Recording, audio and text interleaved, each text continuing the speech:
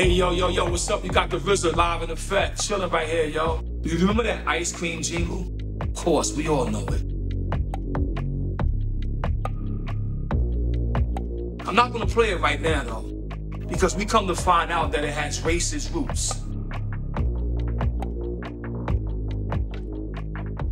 But check this out.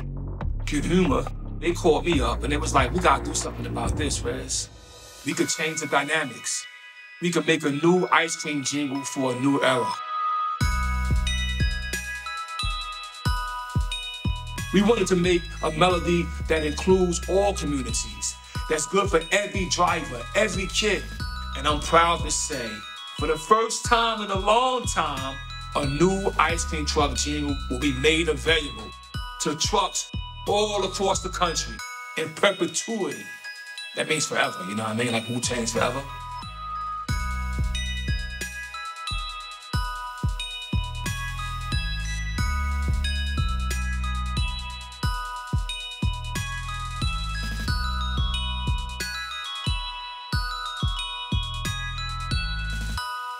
And I can assure you that this one is made with love.